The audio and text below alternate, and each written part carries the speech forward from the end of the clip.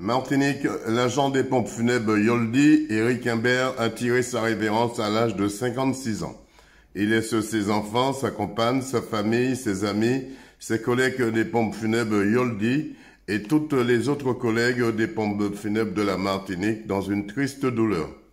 C'est à l'église du Gros Monde qu'il a reçu son dernier sacrement avant de retrouver sa dernière demeure au cimetière de la Vigne. Eric Imbert restera pour tous un indestructible souvenir. Bon voyage, l'ami. Écoutons quelques réactions. À... Ben, le départ du a été pour moi très foudroyant même. J'ai été foudroyé parce que je ne m'attendais pas à ça. On a parlé le samedi, on plaisantait, devait me faire des choses. Et puis, euh, quand j'ai appris sa mort, ben, ça m'a laissé très perplexe. Je me suis dit, ben, les gens sont comme ça alors. Et ça m'a fait mal, honnêtement ça m'a fait mal. Et aujourd'hui, tu me connais comme commerçant, j'ai fermé mes commerces pour lui. Hmm. Donc c'est pour te dire la relation intime que j'avais avec lui. Deux mots pour sa famille. Et sa famille, mais je suis sa famille, je connais bien ses enfants, notamment Rudy. On a des relations particulières, parce que c'est un enfant qui me demande beaucoup de conseils. Et euh, j'espère qu'ils tiendront le coup, parce que c'est pas évident, parce qu'il avait le cœur sur la main, il rendait toujours service aux gens. Il disait jamais non en fait. Il trouvait toujours une solution pour t'arranger. C'était Eric. Dédé News te remercie. Alors Jean-Louis, euh, deux mots sur le départ euh, de votre ouvrier, mais également d'un ami, un ami très proche également. C'était votre bois d'oie également. Euh, deux mots sur son départ? En fait, du coup, dans, cette entreprise, tous ceux qui travaillent pour moi, ce sont mes bois d'oie. Hmm.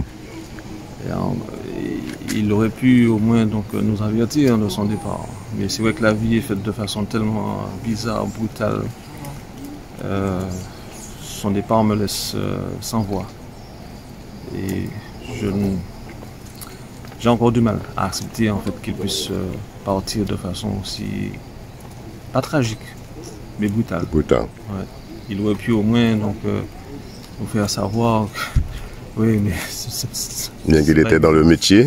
Oui, c'est ça. Et on, conversait souvent et, c'est vrai que c'est notre métier, hein, d'accompagner ceux qui, ceux qui ont besoin de nous, ceux qui ont besoin donc euh, d'un soutien même euh, moral et tout. Mais il faut croire que là maintenant là, ben, écoute, euh, on va devoir supporter l'un de nos gars toute la famille dans votre équipe ressent ce vide, ce grand vide. C'est ça. Et puis on sera accompagné aussi de quelques collègues. Avec qui donc on, on se côtoie de façon régulière.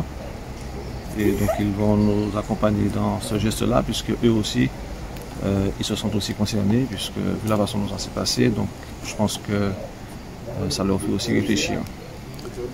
100% sport vous remercie.